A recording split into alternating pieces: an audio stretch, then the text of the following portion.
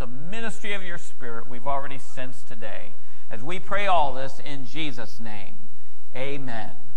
Amen. All right, well, I just wanted to speak to you this a few uh, minutes this morning. As you can see from the title, Women Worth Following. And we're going to look at three women in the Bible that I believe we can learn a lot from. And kind of the jumping off verse is in uh, Genesis chapter number 2, verse 22. So I'll go ahead and just read that. In case you wondered, where did women come from? Well, the Bible says right here. Then the Lord God made a woman from the rib he had taken out of the man, and he brought her to the man. And I'll go ahead and read verse 23. It won't be up there. And the man said, Now this is bone of my bones and flesh of my flesh. She shall be called woman, for she was taken out of man. And so you blame God for women. Those of you, when you get frustrated, no, we don't blame God for women. We appreciate the wonderful gift when God looked at Adam and said, It's not good for man to be alone. And so he created a helpmate, and that's in no way as in the Hebrew a derogatory term. It means someone to stand alongside, a co equal, to support each other. And that's what the women in our lives do. And uh, so we're going to look, as I said, at three of them today. But uh, have you ever noticed how the Bible's full of stories? As a matter of fact, most of the Bible is given in story format. Now, rest assured, there's teaching, doctrine, genealogies, prayers, proverbs, all that kind of stuff in the Bible. But the vast amount of God's Word is given in a story format. Story of Adam and Eve, Noah's flood, Abraham's call, David and Goliath, uh, uh, Daniel in the lion's den, Jesus calming the storm, Peter and uh, Peter walking on the water, Paul and Silas in prison, and the list goes on and on. And why is that? Why does God give so, us so many stories? Well, it's because we can learn so much from the examples of people that have gone before us and how they lived and how God interacted with them. And then, of course, the non story format, the teaching, the doctrine, all that, helps us draw the right conclusions from the story. But the stories illustrate the truth of God's Word. And so the Bible's full of stories we're to learn from. And uh, we're learn what we should do through these stories, what we should not do. We see evidence of God's faithfulness, how God saw them through. And ultimately, as we learn from these stories, it builds our faith up. And of course, through the Bible, there's a lot of great men in a lot of great stories. I mentioned a few of them Abraham, David, Paul, Peter, James, Andrew. The list goes on and on. But there's also a lot of tremendous godly women found in the Bible. And this is kind of unique in ancient literature, such as the Bible, ancient sacred text, is that in the Bible, God over and over again uses women and shows women of faith as examples to live by. And so we're going to look at three of them today in the series I've entitled Women Worth Following. And the truth uh, that we'll be looking at, it doesn't just apply to women. It's for all of us, young, old, man, woman. All of us can learn from their examples. And the first ones we're going to look at is probably two women that you haven't given a whole lot of thought to, if any at all. You may not even have ever heard of them, but they are Shiphrah and Puah. And they are found in the book of Exodus, chapter number 1, verses 15 through 17 is part of their story. The Bible doesn't say a whole lot about them, but what the Bible says about them speaks volumes to us. And so, uh, set the story up. Uh, Israelites uh, are in Egypt now, they're slaves but God continues to bless them. They keep expanding and growing, and the, the, the, Israelites get more and more people to the point that Pharaoh's afraid that if the enemy would attack them, the Israelites would join the enemy and be able to defeat the Egyptians. And so he comes up with a brilliant plan. Well, what we'll do is whenever a male child is born, we will kill that child. Isn't that a great plan? He's a great guy here. And so we pick up the reading in verse 15 of chapter 1. The king of Egypt said to the Hebrew midwives, whose names were Shiphrah and Puah, Then you are helping or when you are helping the Hebrew women during childbirth on delivery on the delivery stool, if you see that the baby is a boy, kill him. But if it's a girl, let her live. Then watch verse 17. The midwives, however, feared God and did not do what the king of Egypt had told them to do. They let the boys live. And I know sometimes when you're reading the Bible and you're not thinking a whole lot, you may just skim over something like that. But let's stop and think about what they did here. Here they are standing before the most, probably the most powerful man on earth at that time, the Pharaoh of Egypt. He could just speak the word, kill them, and without trial, without um, any kind of due process, without appeal, they would be dead or throw them in prison. They'd be thrown in prison. His will was done. And uh, they're standing before the most powerful man in all the world. And these are Hebrew midwives. They are slaves. They hold no power, no position whatsoever to stand up against Pharaoh. And Pharaoh gives them a direct order. And when you are given a direct order in that time period by Pharaoh, you obey it or you bear the consequences of it. And so they had a lot to fear when it came to Pharaoh. But I love how the Bible puts it in verse 17. The midwives, however, feared God. Now, that word fear doesn't mean they're cowering in the corner, hoping God doesn't zap them with a lightning bolt type fear. It is a reverence for God, understanding that He ultimately is in control and He's got them in His hands. And so they have this reverence and this awe of God. And they fear God more than they feared what the Pharaoh, what Pharaoh could do to them. And so what we can learn, and I'm going rapid form here, what we can learn from Shiphrah and Puah is obedience. That we can have courage to obey.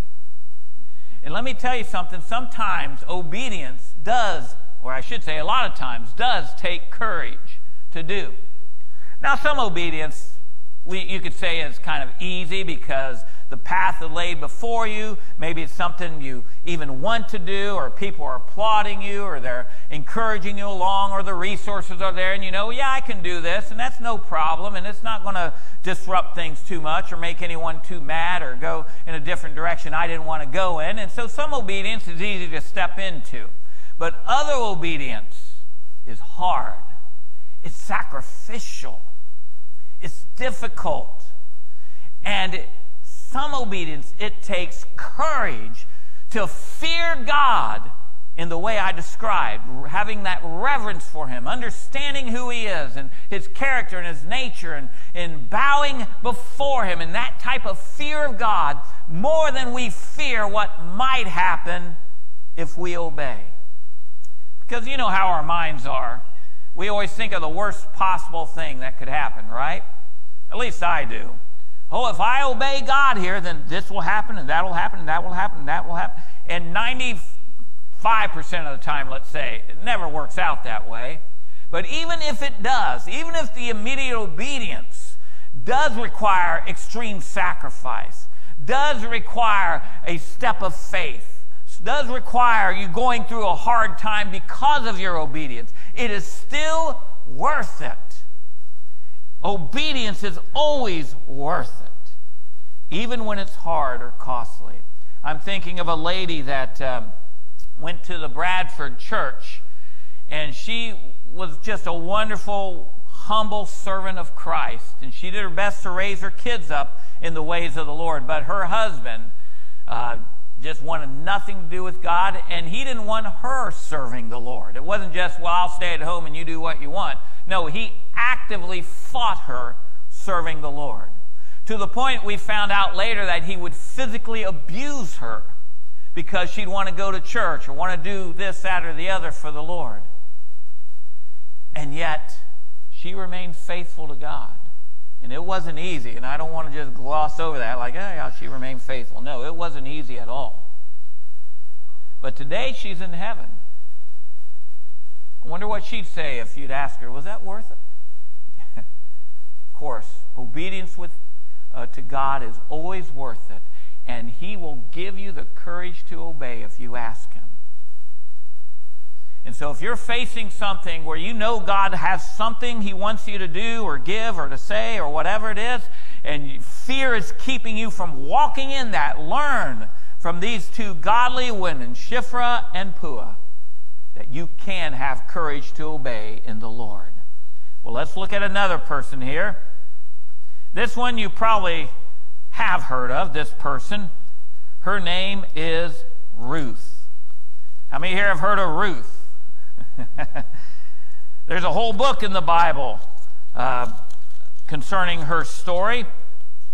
And uh, just a, one of the beautiful love stories of all of ancient literature, actually let alone in the Bible.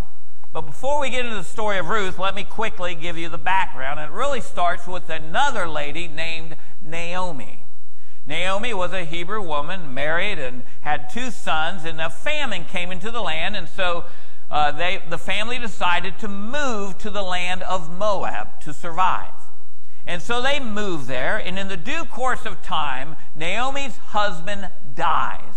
And so she is left with her two sons. Well, they end up marrying Moabite women because that's the land in which they're living in. One woman's name is Oprah. No, not Oprah Winfrey. This is for her time.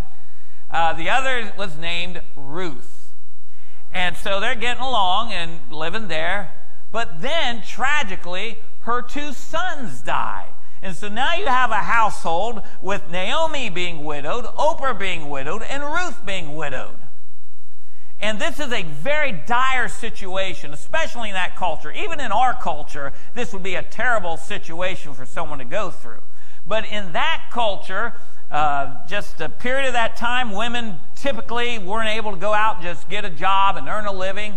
And, and so they just, they didn't know what they were going to do. The, the future looked absolutely bleak. Not only were they dealing with the emotions of losing uh, their husband and their sons and, and all of that, but they're also dealing with the harsh reality of their economic situation. And so what, oh, or what uh, Naomi decides to do is, look, I, am not even in a Moabite. I'm an Israelite. I need to go back to Israel. There's some provisions under the law of Moses that maybe will help take care of me. But she tells her two daughter-in-laws, Ruth and Oprah, now this is your homeland. You stay here. You're young enough. You can get remarried and go on with your lives. Let me go back to Israel and try and make ends meet there. Well, Oprah takes her up on that advice, for better or for worse, and that's the last we hear of Oprah in the Bible. But Ruth, Ruth is a picture of faithfulness. Because somewhere in this dynamic that the Bible doesn't really say, Ruth begins to have faith in the God of Israel. Remember, she's a Moabite. She was raised pagan. She was raised worshiping pagan gods. But somewhere in this whole thing, she began to put faith in the true God of Abraham, Isaac, and Jacob. And so she tells Naomi, I'm not going anywhere. Wherever you go, I go. Your land will be my land. Your people will be my people. And your God will be my God. and so Naomi and Ruth go back to Israel. And Ruth is just showing faithfulness and taking care of Naomi. And uh, they get back there, and uh, they're poor. And Ruth is gleaning the fields for food. And what that is, under the law of Moses at that time, when you had a field and you got it harvested, if grain were to drop on the floor of, you know, while you're harvesting, you were to leave it there. And then there were also, also other portions of the field that they were to just leave for the poor to be able to come and glean that up and have food to eat as one of the provisions for the poor under the law of Moses. And so obviously Ruth and Naomi are poor because Ruth is out gleaning the fields. And she ends up in this field of a guy named Boaz, one of the leaders of the community. And Boaz takes notice of her. First of all, because he of how hard and diligent she's working. She's just out there every day, outworking everybody. And then, you know, he's a guy, and Ruth ain't too bad looking either. So he notices that too. And so he asks, Who is this? And they tell him the story of how she came back. She was a Moabite, but came back with Naomi and so on and so forth.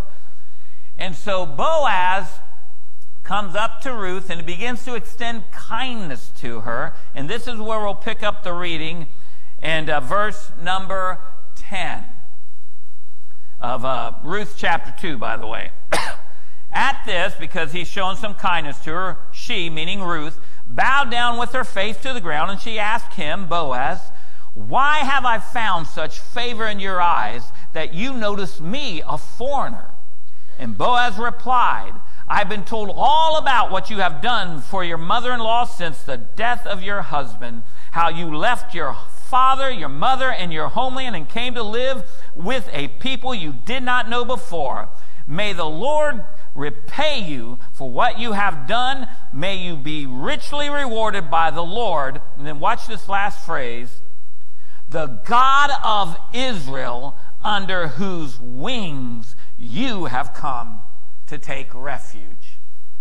See, she's not just tagging on to Naomi because she didn't have anywhere else to go. She is putting her faith and her trust in the God of Israel. And many of you know the rest of the story that uh, goes on from there. Boaz ends up marrying Ruth, and there's a beautiful story of redemption that, that is also an illustration of how Christ redeems us that we don't have time to get into today. But he ends up marrying Ruth. And so the one who used to glean the field is now a co owner of the field. And not only that, how many here have heard of King David in the Bible? Pretty important guy, right? Arguably the greatest king Israel ever had. A type of Christ in the direct lineage of Jesus. Well, guess who the great grandmother of David gets to be? Ruth. God places Ruth, this Moabite woman, in the direct lineage of Jesus Christ himself. And what can we learn from Ruth through all this? That faithfulness to God is always worth it. We can learn to be faithful to God. And just like God saw Ruth's faithfulness, he sees your faithfulness. He sees what you do for him out of the limelight that no one else knows about. He sees you being true, being honest, doing what is right, avoiding temptation. He sees you, teacher, diligently preparing for that lesson, and you don't know if this Sunday you'll have 20 in your class, or 10 in your class, or 5 in your class, or 1 in your class, but, but you're still prepared. He sees that faithfulness. He sees you supporting his work when you could put the money in 10,000 other places. He sees you giving to others out of your own need. He sees you reacting kindly to that harsh word, praying for your enemies. He sees these things that we do in our faithfulness to God. He sees it, and none of it is lost to Him, and He will reward us in due time. I love what He says here. Boaz tells Ruth, and I believe God tells us that we will be richly rewarded by the Lord, the God of Israel, under whose wings you have come to take refuge. So keep being faithful.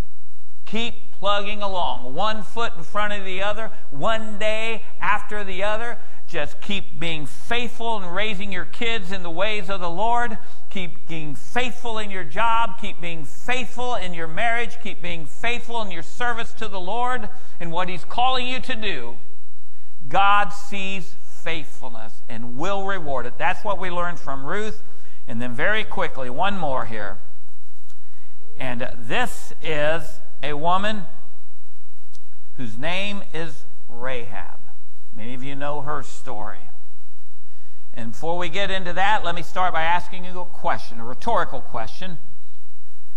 Do you think someone who was raised as an absolute pagan in a godless, depraved society who was an idol worshiper, who was part of a people that were an enemy, an absolute enemy of God's people, who was also a harlot by profession. I mean, this is what she did for a living. Do you think that person would ever be put on a list with Abraham, with Noah, with David, and other great people of faith? Well, the answer to that is a capital Y E S. Yes. And her name is Rahab. And what we learn from Rahab is that God can redeem anybody and anything. Nothing is beyond the redemptive touch of Jesus. And uh, I don't have time to get into all the details, but Israel's going to be attacking Jericho. And Rahab, raised in this pagan culture, hears about this God of Israel that delivered them out of Egypt and that's done these great miracles and has provided for them in this in the desert, and somewhere along the line, she begins to abandon the fake and false gods and beliefs that she had been holding on to and begins to embrace a faith in the God of Israel. And so when the spies come into the land of Jericho, the city of Jericho, to search it out, uh, they come to her house uh, to hide out, and Rahab expresses her faith in God of Israel. She says, We know we're toast. We know God's given you all this. And so, in, re, in, in, response to my kindness in hiding you, and then she also helped them escape, she says, Please remember me and those in my household when you come and spare our lives. And so they agree to do that. And of course, Israel comes to Jericho, and you know the story. They march around once a day, time, once a day for six days. The seventh day, they march seven times around, blow the trumpets, the walls fall down, they go in, and they take the city. And that's where we're going to pick up the reading here in Joshua 6, verse 23. So the young men, these were the spies that originally went to Rahab, the young men who had done the spying went in and brought out Rahab, her father and mother, her brothers and sisters, and all who belonged to her. They brought out her entire family and put them in a place outside the camp of Israel. She was saved from certain destruction because she put her faith in God, in the true God say, well, that's a nice story. Well, it goes even beyond that. Because what we find, you know, I mentioned Boaz. Well, guess who Boaz is related to? Boaz is related to Rahab. She's in the lineage of Christ. She is also put in the lineage of Jesus. Think about that. This woman who was a harlot lived about as sinful, godless life as you could. But because she put her faith in Christ, or her faith in the God of Israel, I should say, because of that, she was redeemed, saved, from certain destruction and honored to be put in the very lineage of Jesus, as the book of Matthew points out. And in Hebrews chapter 11, which is we call the great Hall of Faith chapter, because in it the writer of Hebrews lists all these great people of faith Abraham and David and Daniel, and the list goes on and on. The people we emulate, people we that are cheering us on. And in that list is Rahab. Can you believe that? As an example of faith. That's the redeeming power of God. And what we can learn from her is, as I said, nothing is beyond God's redemption. No one is beyond God's redemption. No one is too far gone, so keep praying for that wayward son, that wayward daughter. Keep praying for that neighbor. No situation is too dire that it goes beyond God's reach. There's no pit so deep that God's grace cannot go deeper, and there is no sickness, no hurt, no pain, no situation that is greater than God's healing touch or greater than His power. He will redeem it all if we will let Him. Say, how do we let Him redeem it? Surrender and trust. Just like Rahab. She surrendered. I mean, she took her own life in her hands, hiding these spies out in her home. She surrendered. She trusted. And she got redeemed. And the same can hold true to us. So these are the women we can learn great things from. And you may say, well, that's, that's good, but these stories seem kind of unrelated. This might be like a scattergun message where everything just goes out and you hope something hits with somebody. you know, it doesn't connect a whole lot. But they're really not because there is one underlying thing through it all God's faithfulness. God's faithfulness to redeem and reward when we do what we need to do and walk with Him. I mean, if I could put it all together, I'd summarize it this way God can redeem anything if we remain obedient and faithful to Him. Let me say that again because that's really the message I believe God has for us. God can redeem anything, including you, including whatever situation you're facing. He can redeem it. He can work it. He can bring good out of it. He can bring you through it victoriously in His time and in His way if we remain obedient and faithful. That's our part. And we see that in the story of Shiphrah and Puah, the obedience, in the story of Ruth and the faithfulness, and Rahab and the redemption. But you know, the great thing is, I don't even have to look at the Bible to see this is true. I see it in the stories of others I know. I see it in the stories of some of you sitting out there that I know your story. That God's redeeming what you're going through, God's bringing you through it. And what Satan meant for evil, God is turning for good. Some of you are in the middle of that. Some of you are at the end of it. Some of you have been through it and can testify, Amen, He will, and He does. Because it's not just stories in the Bible, it's what we live out when we are obedient and faithful. And may I say the same can be true for your story as well. So, Dad, you can come to the piano. We're just going to end by praying uh, specifically for the women of our church, but this obviously applies to all of us. And so, application stay obedient and faithful in whatever it is you're facing today. Don't give up. Don't give in. Don't pull back. Keep praying. Keep serving. Keep giving. Keep believing. Keep trusting. Each day, by God's grace, just wake up and say, I'm going to put one foot in front of the other and keep going with God. Believing and knowing that God is at work in the background, redeeming your situation. And so we're going to pray a prayer of blessing over the ladies of our church. And so if we could all stand. And what I'd like to do, if we could, is uh, if there is a lady beside you, and ladies, you can put your shoulders on each other too, that you feel comfortable doing this. I don't want anyone to be uncomfortable, but just put your hand upon the, the ladies around you, and let's just pray God's blessing over them, and let's pray that God will help us all stay obedient and faithful to Him. Father, we thank you so much for these examples you've given us in your word.